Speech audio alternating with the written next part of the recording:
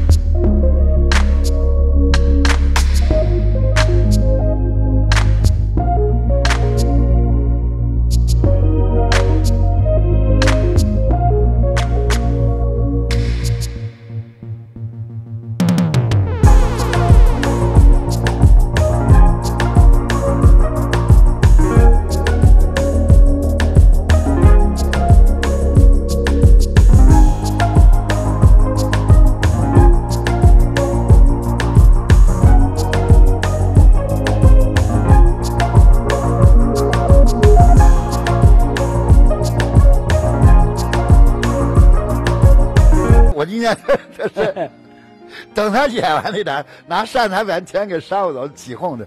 我说这肯定是一个 北京的那个咱们戏精，戏精啊。啊，然后马导在那说这是那个明启老师的弟弟。我说啊，哦，这是他弟。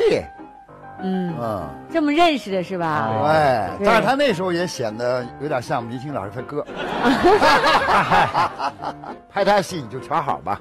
对，刚才说到那个叫《天下第一丑》，我本身就不会唱歌，嗯，但我特喜欢里面那段叫什么那个南起界什么三家店。我那拍的戏呢，我就听着特别好听，我就老哼哼。他就告诉你这这不对，你这不对，没唱对，你得这么唱，你这么唱。然后我就忙别的去了，我也没工夫老学啊。嗯一会儿我走那个，在那个走廊里头坐那吃那个盒饭呢，我又一哼哼，他从老远端盒饭，你这倒不对不对，你把盒饭嘛，我我给你再唱唱。哎呦，一遍遍的教我呀。后来有一段我都快拍完那戏了，我都觉得我说哪天我得来一段啊。他怎么着？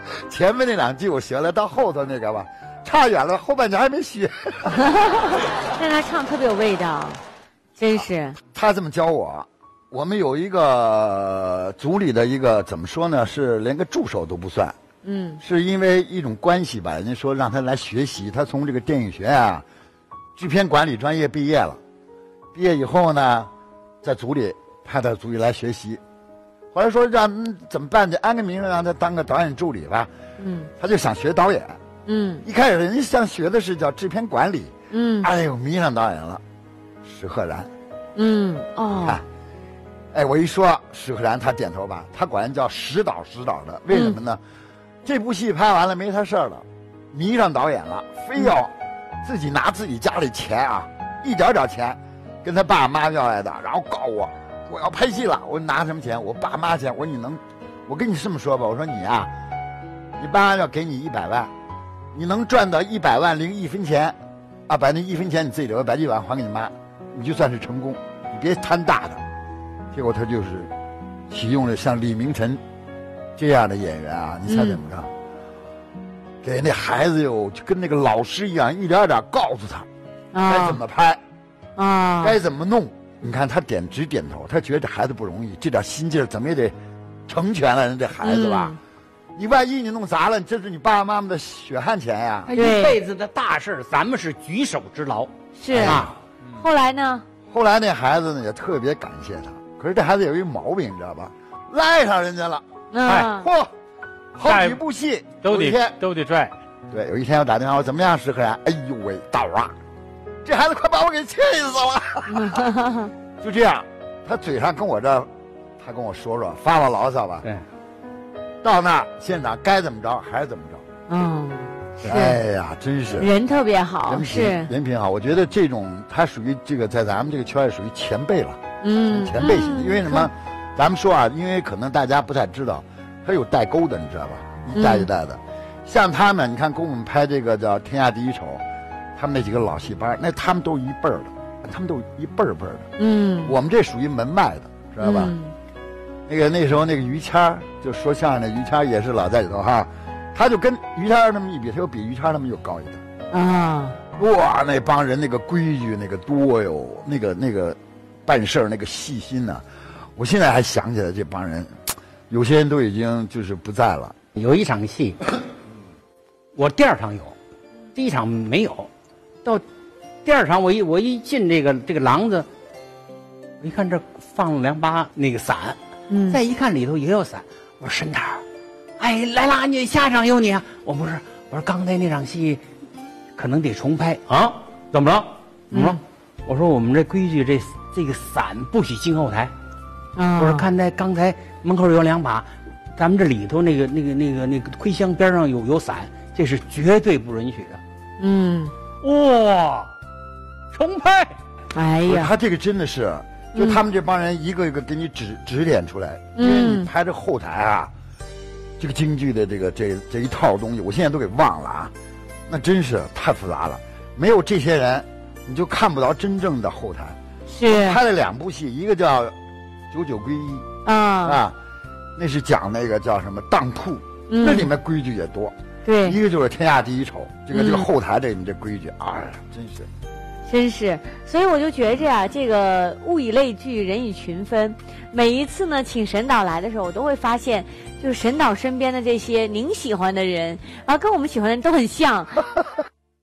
真的是很高兴啊！今天为这个李老师做这期节目，嗯因为呃，李老师一直跟我们说说，你看，呃，我呢是小演员，就是演的都是小角色，但我们真的觉着李老师他们这一代人在荧屏上，正是因为有了他们这些真是老戏骨给撑着，才会有今天这么百花齐放的这个局面啊！你这个这个说的太对了。是不是？